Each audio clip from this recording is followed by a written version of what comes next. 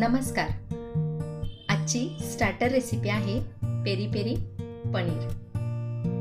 चला तर मग करूया सुरुवात. यासाठी आपल्याला लागणार आहे दोनशे ग्राम पनीर. आणि पनीर छान असे क्यूब साईजमध्ये कट करून घेतलेले आहे. एक छोटा कांदा लागणार आहे एक टोमॅटो आणि एक शिमला मिरची.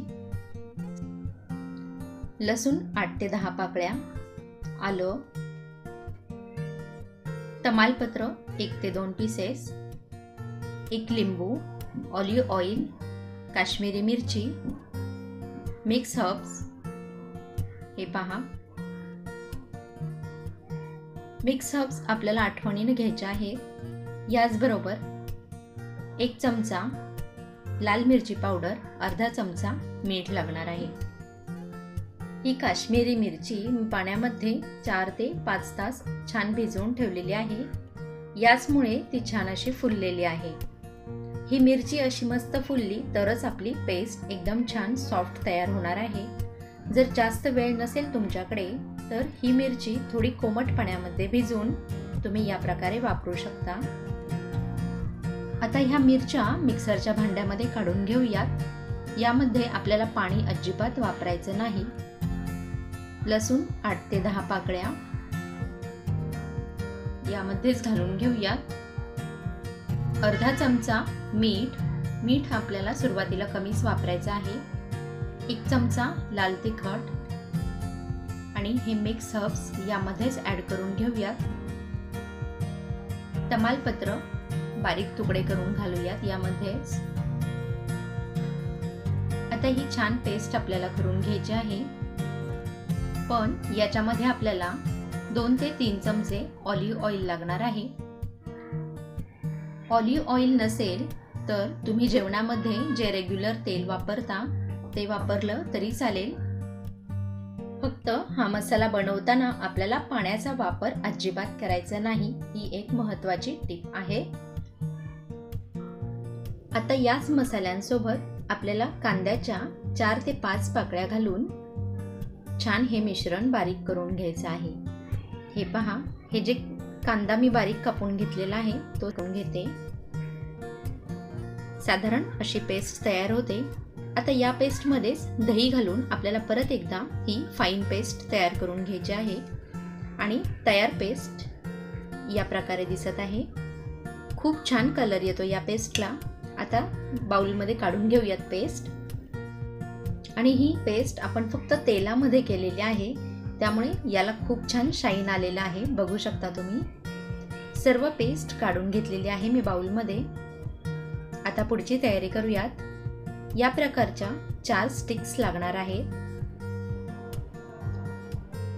आता या तयार पेस्टमध्ये पनीरचे क्यूब्स ॲड करून घेऊयात.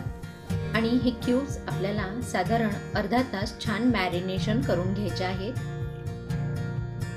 व्यवस्थित मिक्स करून नंतर याला आपण झाकून ठेवणार आहोत. आणि अर्ध्या तासानंतर पुढची प्रोसेस आपल्याला स्टार्ट करायची आहे. या मॅरिनेशनमुळेच खूप छान टेस्ट येते.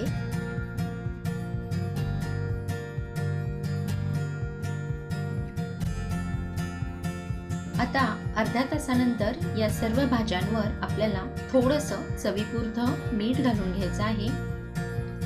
आणि एक ते दोन लिंबाचे काप याच्यावर पिळून घ्यायचे आहे.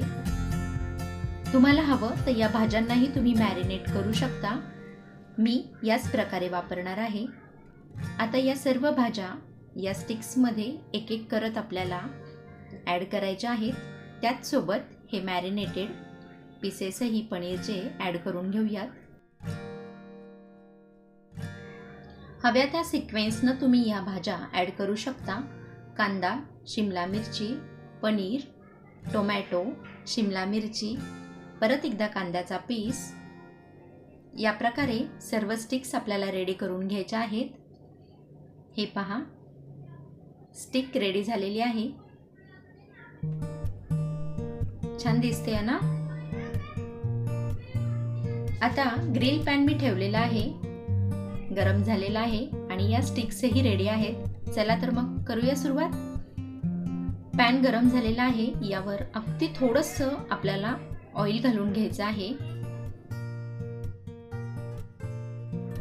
तुम्ही सर्वांनीच अजूनपर्यंत या चॅनेलला खूप सपोर्ट केला आहे. त्याबद्दल मी तुम्हा सर्वांचे पुन्हा एकदा मनापासून आभार मानते.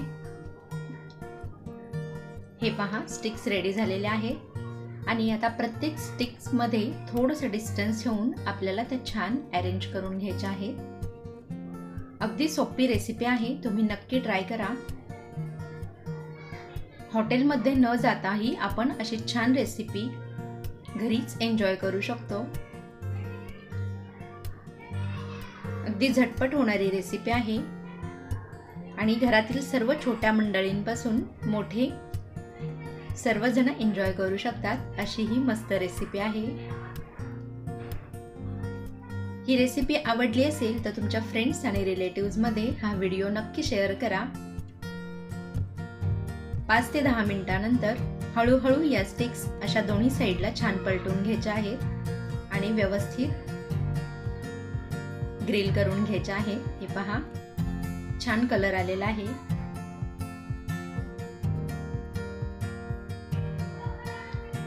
याचबरोबर जर तुम्ही या चॅनलसाठी नवीन असाल किंवा अजूनही सबस्क्राईब केलं नसेल तर लवकरात लवकर सबस्क्राईब करा बेल आयकॉनला क्लिक करा म्हणजे मी नवीन व्हिडिओ अपलोड केलेले तुमच्यापर्यंत लगेचच पोहोचतील.